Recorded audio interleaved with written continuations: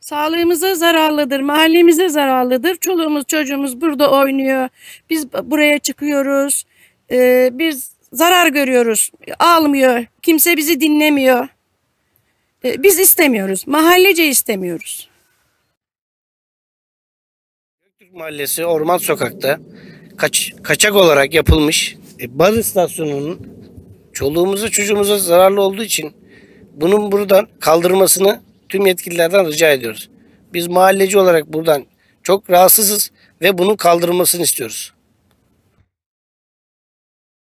Mahallemizde yapılmış olan insanların bilgisi dışında baz istasyonu herhangi sorulmadan zaten sağlığa bunun herkes zararlı olduğunu biliyor. Bildiği halde bunu ısrarla bunu buraya yapmanın bir anlamının olmadığını kabul ediyoruz biz.